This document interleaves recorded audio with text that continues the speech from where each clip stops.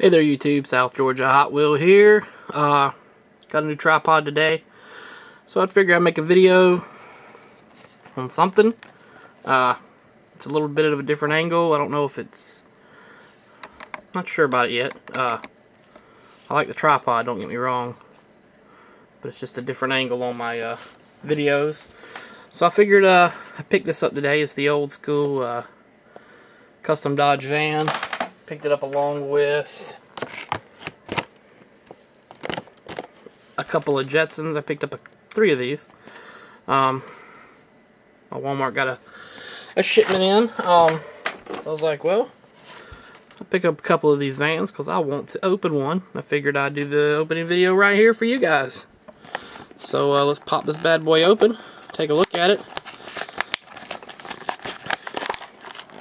Oh, crashing down. And we're live. Oh, this is nice. Oh, wow. I don't know if you can see this in the camera. But that paint is nice. Look at that. That's some detail right there. Uh, I wasn't a big fan of the van at first. But man. Just like all of them, it has the real riders. Oh, look at that. Look at that detail. I'm very impressed with this. Um, if you're thinking about not getting this one, nothing else, just get it to open. This thing is. Look at the D. Look at this. Can you see the inside? That's that's nice. Top is blacked out.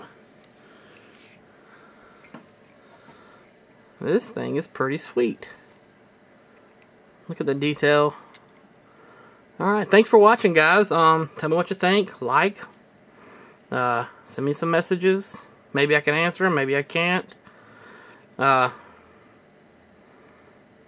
Dodge. Mean, the detail is incredible. Look at that. I like I like this. Alright, guys. Thanks a lot. Uh, keep watching.